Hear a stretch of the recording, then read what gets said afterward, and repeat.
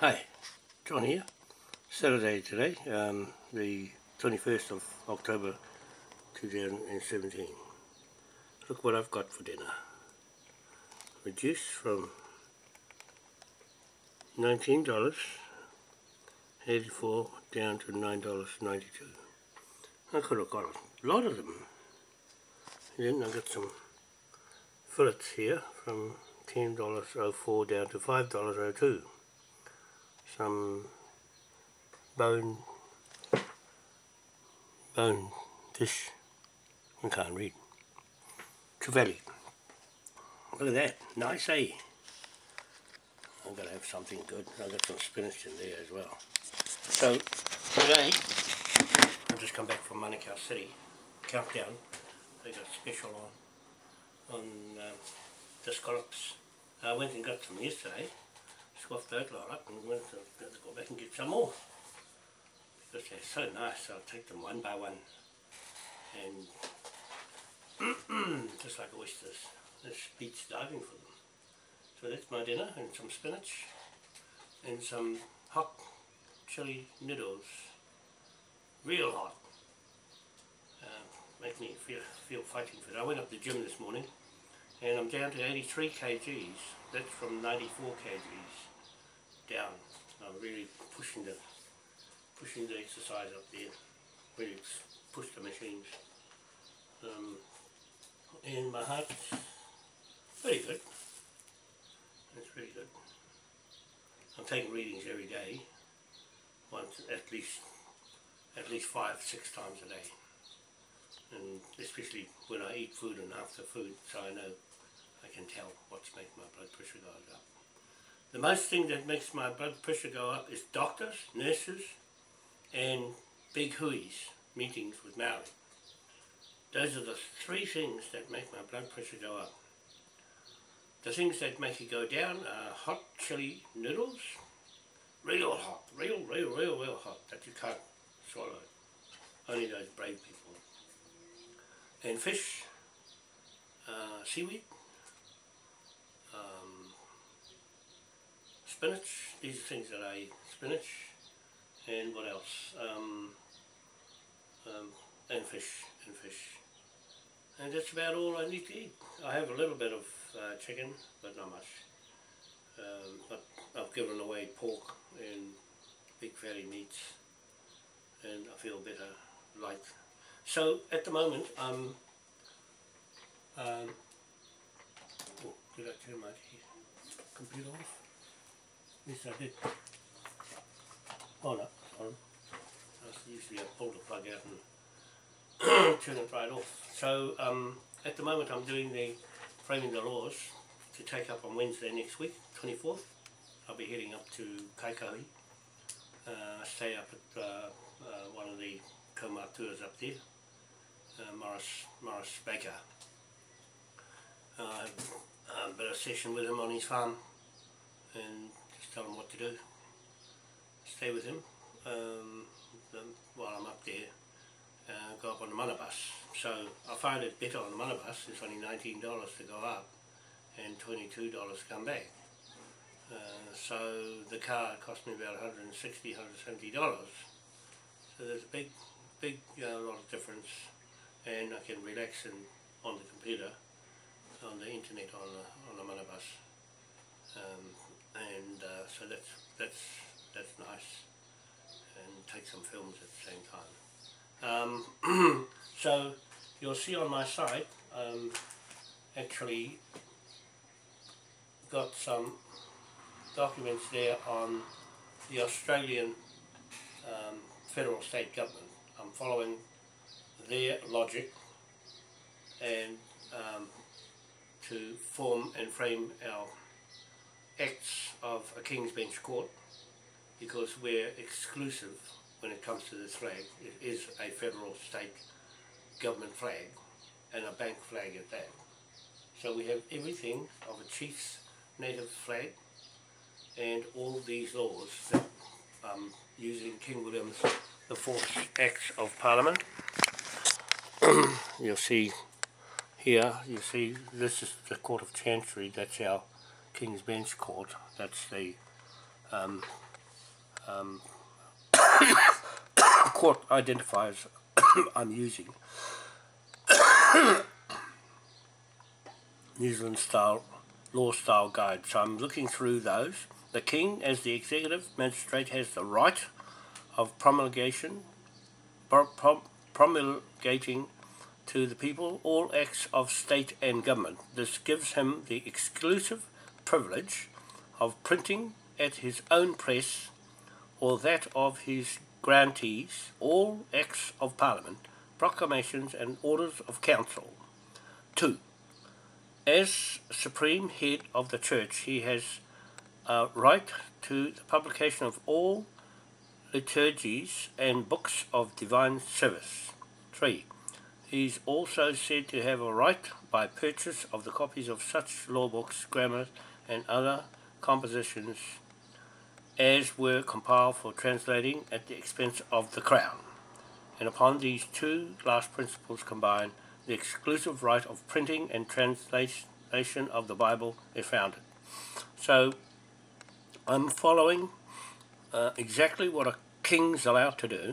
Goods and chattels then are totally forfeited by the conviction of high treason, which is what has happened with New Zealand and, and John Key. Um, I'm, I'm quoting this, I'm, I'm citing this here.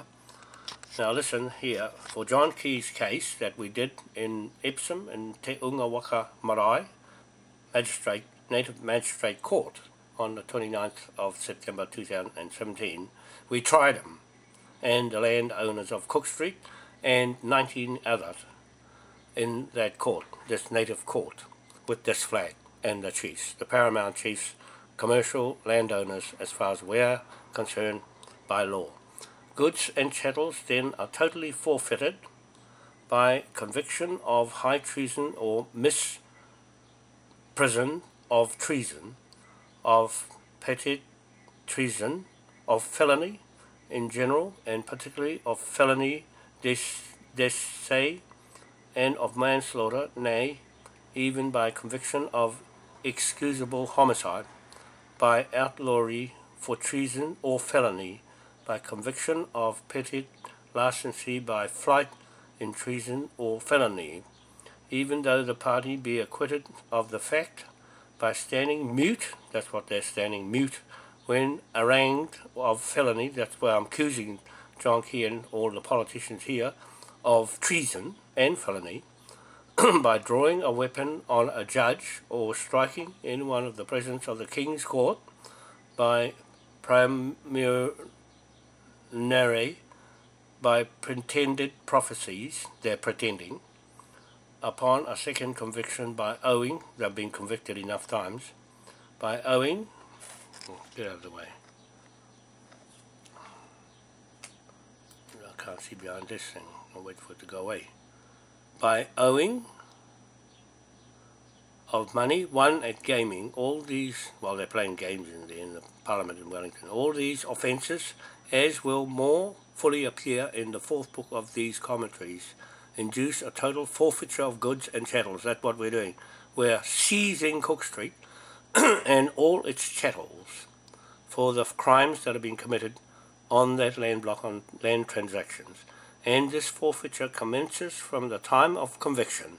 That was back in 2008 when I first took Cook Street on. They're going to have to pay for every day they have stopped me from going on that land block.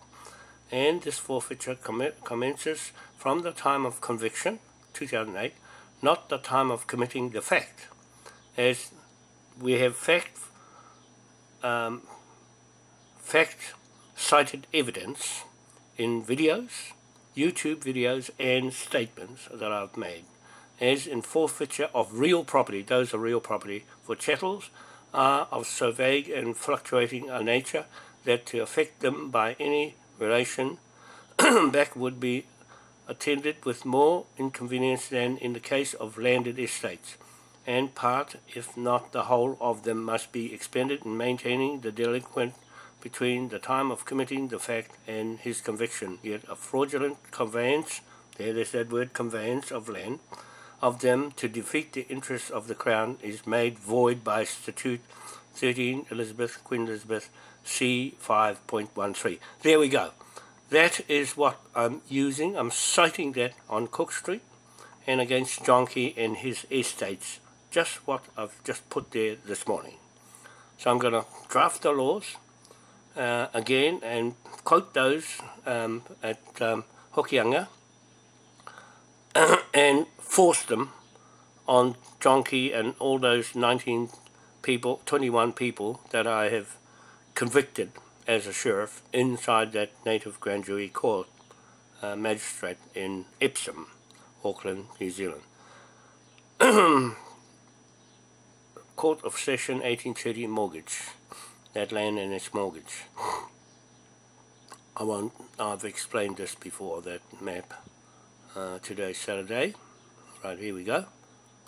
That's what I'm doing today. Today, Saturday, 21st of October 2017, I am framing the laws for the Whakamininga six regions on that map for the original provinces of New Zealand with Moriori Paramount Chief Rewharewha Manukau, direct descendant, British commercial landowner, transfer in Awaroa Native Magistrate Court of Admiralty, Awaroa Bank, on his 10-acre land block in Helensville, Kaipara, southwest Auckland, New Zealand. Linked to Edinburgh Magistrate Court of Admiralty, Bank of England in Scotland, with Paramount Chief Tira Waikato Whare Here Here Manukau Crown, land patent seller of New Zealand, and the Magistrate Lieutenant William Simons, 23rd Regiment, 1820 to 1830, sale and purchase agreement in private contract with King George IV, Crown Land Patent Buyer.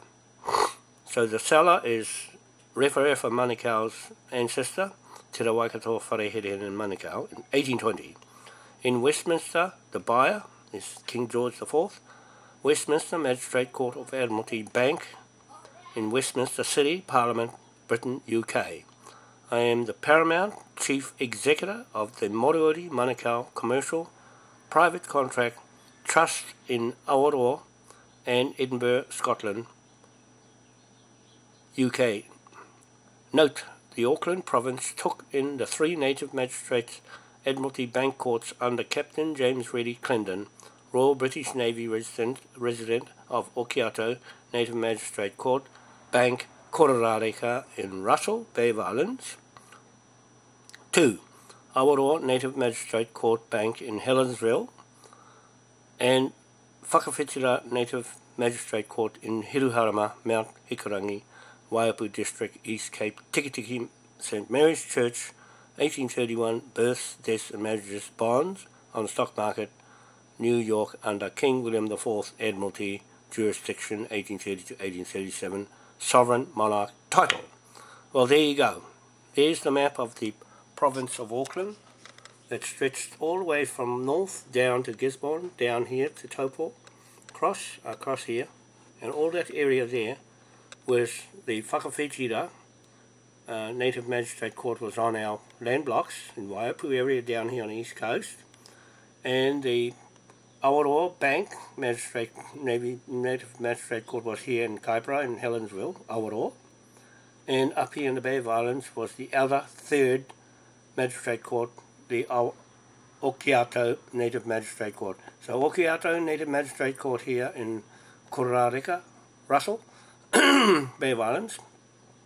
That's the first one. The second one was Awaroa Native Magistrate Court and John Rogan in and Moini Manukau in Helensville, uh, Kaipara, South, uh, Kaipara Harbour. And the third um, Native Magistrate Court was here in Whakawhetira in the Waiapu area of the East Cape uh, in our land blocks. Okay, so so that's the only three magistrate courts in New Zealand at that time, and all the Pākehās were hidden down here. That's all the fighting was in here, in this area here. Okay, so, and then we go back up here I'm framing the laws, yes. And our flag there with King William IV and Moai standing in London. You'll notice he's got his eyes in place, so he can see. I'll put his eyes back in. the original Paramount Chiefs Commercial Trading Bank Native Magistrate Court Martial Law jurisdiction came into legal effect on Friday the 29th of September 2017 as private, private contract law established inside Te Unga Waka Marae Native Magistrate Court Bank Ruling Authority over New Zealand and Pacific Islands country doctrines of discovery, Moai Crown Earth Gods title, memorial titles of King William III, King William IV, and King George IV, St. Patrick's and St. Mary's Church memorial titles, and Moriori Manukau Paramount Chief's title transfer to King George IV, 1820 to 1830, and King William IV title from 1830 to 1837, founding of New Zealand Discovery title, 20th of March 1834 flag, and sovereign authority jurisdiction of the Paramount Chiefs of New Zealand, 6th of February 2017, in a 21 gun salute, 2011 pages of the Native Magistrate Court Acts of King William the 4th, 1830-1837, Westminster Magistrate Court and Parliament, Britain, UK, to Tuingwa, to Te Unga Waka, Marae Native Magistrate Court, Epsom, Auckland, New Zealand, Moai Crown, Federal, State, British, Commonwealth, Government of the World, Dual, British, UK, New Zealand, Pacific. Ireland, two-party, private contract trading flag of Admiralty State to State New World Government Partnership. So that's our, our, our flag there, the one that's behind me here. And our authority to use it now all 111 pages of my Crown Federal State Law is here in comments section below to download first 40 of first 40 pages, then singly to 111 pages. There we go. so that's all I wanted to do the video of today. The fact that we are a court, a chancery in the King's Bench Native Magistrate Court here in New Zealand, um, exercising our right to uh, enforce our laws. Up in Kaikohe we'll be forcing the laws uh, and framing the acts, passing them on the 25th of October 2017 on the government. So that by the time we got to Te Tii Marae on the 28th, they've already been served um, notice from that um, hearing uh, in uh, Waitaha headquarters in the middle of the street in Hokianga. Okay, so we're going back to Poroho's place again uh, from the 25th to the 27th and then go to Te Tii Marae on the 27th overnight for the Declaration of Independence Day on the 28th, but we're calling it a declaration of war flag of 1834 back to 1820 period of contract. That's a contract flag. This is a commercial trading bank private contract flag of a king. He put all those laws together with the Bank of England Act of King William III and the pound note of King William III, the St. Patrick's eight-point star, at the same time the municipalities in um, Belfast. St. Patrick is buried there. That's his hometown and my ancestors there, the Rogans and the Cosgroves, lawyers and the Rogan judges come from there in Belfast, Protestant. So I'm, I'm Protestant of the uh, St. Patrick's Church and also Church of England in the St. Mary's Church in Scotland the Holy Grail underneath the church and our uh, Tiki Tiki, uh, St. Mary's Church, 1831, they put the first of the birth, death and marriage certificates together on the stock market in New York with King William. He set that all up in the 50 years of his Navy service in New York. He was posted there as a uh, magistrate and a, a prince. Uh, and so that's his legacy to us.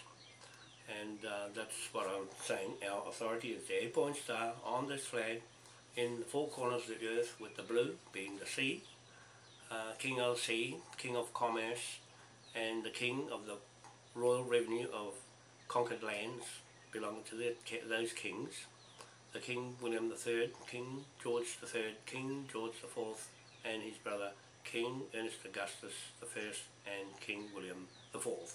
Those are the kings that belongs to us in this flag. Dutch. Dutch straight to here, Zeeland Dutch name. Okay, in East Island, that all those Moai statues were standing. And when King William IV died and Queen Victoria took over, the Moai started falling over. They started banging them over and took this big one to Britain, to England, and that's my own title that she stole in 1868. I want back. I'm going there to claim him back because that's my spirit, earth god, law, L-O-R-E, deeds of truth that has been stolen. God says, thou shalt not steal. They've stolen it with King William IV's Admiralty Court Martial Law flag. We're going to use this Admiralty Court Martial Law flag of King William IV and King William III on all of you pirates. That's what it was given to us for. For pirates who got in the way third party.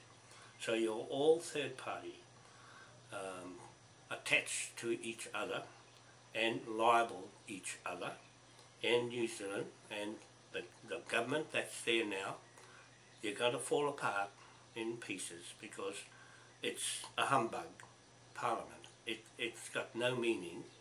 It's just been bodgy and no substance in it. No seal of the court, no seal of the Queen, no seal of Westminster, no nothing. We've got more going in this flag and this sheriff's badge on my head than they have all to rub two stones together.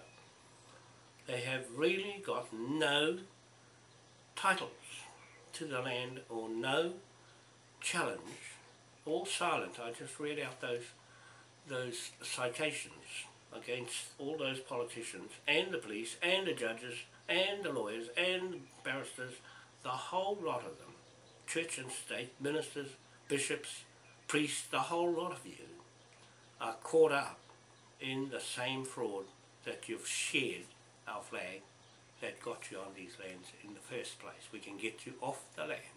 That's what these paramount chiefs are. We are now paramount chiefs. I'm one, Bundy Waitai is the other, Herewini Karaka is the other, and Manahi Parapara Mohini is the other. Four paramount chiefs have the legal right to kick anybody off this land and seize everything right now as I speak on this video, YouTube. I'm making this a cited evidence case against John Key, Panama Papers, and defrauded the public of New Zealand, and bank fraud, and also treason. The same as the Queen and her treason. You're up in front of everybody in the world on my sites, my Facebook sites, my YouTube sites, my websites and two Facebook sites just for you, John Key, and all your thugs in there. You're going to get it. Judith Collins and um, Paula Bennett, you're all going to go crashing down and lose everything that you own. Doesn't matter. You broke the law of New Zealand. Section um, Crimes Act 61, Crimes Act 51 of New Zealand and you broke our King's laws and this flag of jurisdiction over you, Vice Admiral or Humbug Admiral. You got no Prince Philip now, he's gone, he's run away. The Queen has run away and she's acting de facto away from a crown position. I watched the video this morning on Facebook and she, the, crown is sitting on a table, not on her head when she's making statements for the parliament. It's not real. She's not representing the people she's supposed to be. She's there for her own private business. That's why she puts the crown on the table, as if it doesn't matter where it goes. But it's not on her head. That's what I'm saying. She doesn't represent anybody. We've more right with this and this flag over the Queen. I'm going to sack her from our trust, the Queen Victoria Trust, seize that lot, seize all the gold, 300 million tonnes of gold, metric tonnes of gold in the Caribbean, and 170 million metric tonnes of gold in the Philippines and in other countries. We're going to seize all that lot with this, the King's flag that got it in the first place with that authority in commercial world King George IV, from King William III, the father of King William IV, and King Ernest Augustus I, and King um, George IV. Okay? That's how it works. We have that title.